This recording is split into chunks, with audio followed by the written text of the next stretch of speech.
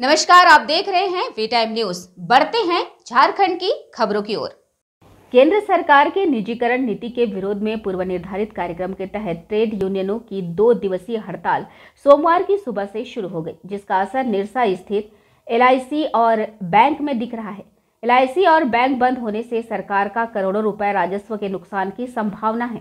वही हड़ताल में शामिल एलआईसी निरसा के शाखा सचिव रामायण गुप्ता ने कहा कि अखिल भारतीय बीमा संघ के आह्वान पर पूरे देश में निजीकरण के खिलाफ दो दिवसीय हड़ताल किया गया है। एलआईसी में आईपीओ लाने से ग्राहकों को काफ़ी परेशानी होगी।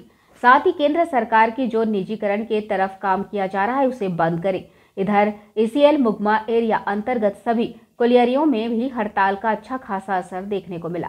पूर्व विधायक अरूप चटर्जी ने कहा कि केंद्र सरकार की निजीकरण की नीति के खिलाफ आज से दो दिवसीय हड़ताल किया जा रहा है। कहा कि सरकार कोल इंडिया रेलवे आदि सभी सेक्टर को निजीकरण करने में लगी हुई है, जिसका पूरे देश में विरोध किया जा रहा है। जो नीतियाँ हैं, जो बेसिकली जो प्राइवेटाइजेशन का नीति है, सारे जो पब्लिक सेक्टर यूनिट है, चाहे कोयला हो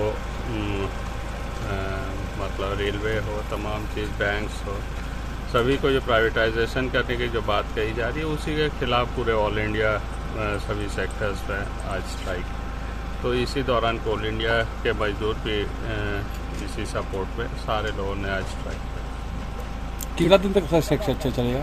ये अट्ठाईस सौ उनतीस दो दिन का स्ट्राइक है। आज तो आप लोग देख रहे होंगे जो पूरा मुगवा एरिया में पूर्ण रूप से बंद है। एक तो मैनेजमेंट ही बता पाएगा लेकिन हम समझते हैं जो पूरे मुगवा एरिया में ऐतिहासिक बंद है। अखिल भारतीय बीमा कर्मचारी संघ के आह्वान पर जितने भी एल के ऑफ़िस हैं पूरे ऑल इंडिया लेवल पे वो सरकार के किसान विरोधी, मजदूर विरोधी और छात्र विरोधी नीतियों के खिलाफ कर रहे हैं। इसके साथ ही साथ सरकार जो एल का आईपीओ ला रही है, वो किसी भी तरह से देश की जनता के हित में नहीं है पॉलिसी धारकों के हित में नहीं है। क्योंकि एल की जो स्थापना हुई थी, वो इसलिए हुई थी कि जनता का पैसा जनता के कामों के लिए उपयोग किया जाए। लेकिन ये सरकार एल में आईपीओ लाकर सीधे सीधे कॉरपोरेट्स को फ़ायदा पहुँचाने का काम कर कल हमारा दो दिवसीय हड़ताल है, जो कि 28 और 29 मार्च 2022 को पूर्ण रूप से रहेगा और पूरे भारत वर्ष के पैमाने पर जितने भी एलआईसी के कार्यालय हैं, वो सारे के सारे